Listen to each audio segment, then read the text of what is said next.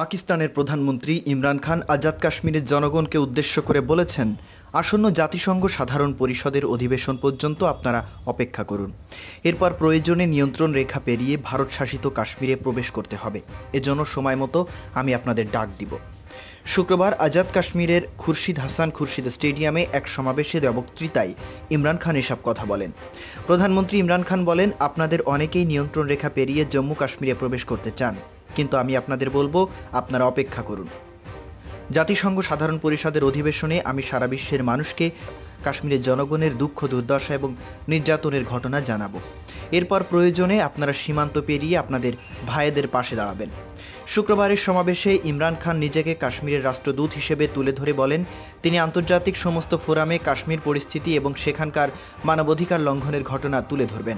তিনি বলেন, কাশ্মীর একটি মানবাধিকারের ইস্যু হয়ে দাঁড়িয়েছে। যেখানে নারী, পুরুষ, আবাল, বৃদ্ধ, বনিতা সবাই ভারতের দখলদার বাহিনীর হাতে নির্যাতিত হচ্ছে।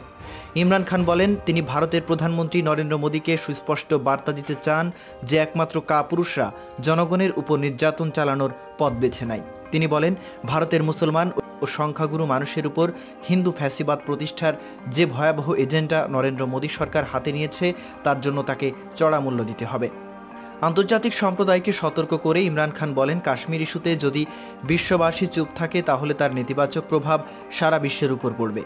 গণভোটের মাধ্যমে কাশ্মীরিদের নিজেদের ভাগ্য নিয়ন্ত্রণের যে অধিকার, জাতিসংঘ নিরাপত্তা পরিষদে পাশ পাশ হওয়া প্রস্তাবে দেওয়া হয়েছে, তা বাস্তবায়নের আহ্বান জানিয়ে ইমরান খান বলেন, কাশ্মীরের জনগণ যদি নিজেদের স্বাধীনতা বেছে নেয় অথবা ভারতের সঙ্গে থাকতে চাই কিংবা পাকিস্তানের সঙ্গে যোগ দিতে চাই ইসলামাবাদ কাশ্মীরের জনগণের যে কোনো সিদ্ধান্তের প্রতি সম্মান জানাবে। সমাবেশে আজাদ কাশ্মীরের মুখ্যমন্ত্রী রাজা ফারুক, পাকিস্তানের পররাষ্ট্রমন্ত্রী শাহ মাহমুদ কুরেশি, কাশ্মীর বিষয়ক মন্ত্রী আমিদ গান্দাপুর প্রতিরক্ষা মন্ত্রী পারভেজ খট্টাক ও প্রধানমন্ত্রী তথ্য বিষয়ক উপদেষ্টা ডক্টর ফেরদোস আশিক আওয়ান এবং তারকা ক্রিকেটার শহীদ আফ্রিদি উপস্থিত ছিলেন। এদিকে কাশ্মীর সংকট সহ ভারত পাকিস্তানের মধ্যে সৃষ্ট সব বিরোধ সমাধানে প্রেসিডেন্ট ডোনাল্ড ট্রাম্পকে মধ্যস্থতার আহ্বান জানিয়েছে যুক্তরাষ্ট্রের সিনেটরদের একটি দল।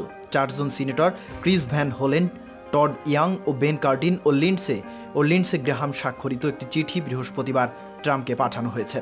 চিঠিতে জম্মু কাশ্মীরে মানবাধিকার পরিস্থিতিতে উদ্বেগ প্রকাশ করা হয়েছে। বলা হয়েছে, পাঁচ আগস্টের আগে ও পরে আটক করা হয়েছে বহু মানুষ। ট্রাম্পকে তার প্রভাব ব্যবহার করে এসব মানুষকে মুক্তির ব্যবস্থা করতে আহ্বান জানিয়েছেন মার্কিন এমপিরা। ওই চিঠিতে ট্রাম্পকে উদ্দেশ্য করে তারা লিখেছেন, আপনার প্রতি আমাদের অনুরোধ, ভারতের প্রধানমন্ত্রী নরেন্দ্র মোদীর প্রতি আপনি আহ্বান জানান কাশ্মীরে টেলিফোন যোগাযোগ ও ইন্টারনেট সেবা পুরোপুরি চালু করতে অচলাবস্থা ও কারফিউ তুলে নিতে এবং আটক কাশ্মীরিদের মুক্তি দিতে। কাশ্মীরের এই পরিস্থিতি গণতন্ত্র ও মানবাধিকার ও আঞ্চলিক স্থিতিশীলতার উপর ভয়াবহ ক্ষতিকর প্রভাব ফেলছে। চিঠিতে আরও বলা হয়, কাশ্মীরের মর্যাদা বিষয়ে দীর্ঘমেয়াদী সমাধানের জন্য সব পক্ষকে সহায়তা করা আপনার লক্ষ্য। আমরা আপনার এই লক্ষ্যকে সমর্থন করি। কিন্তু কাশ্মীরে এখন যে মানবিক সংকট সৃষ্টি হয়েছে তা বন্ধে অবিলম্বে আপনার হস্তক্ষেপ কামনা করছি।